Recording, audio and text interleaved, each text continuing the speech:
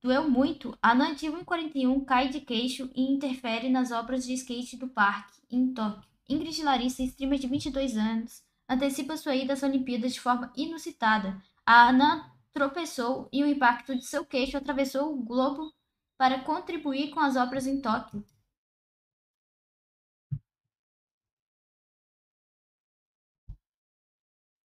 Ah, cara. Cara. Pô, paioso, hein?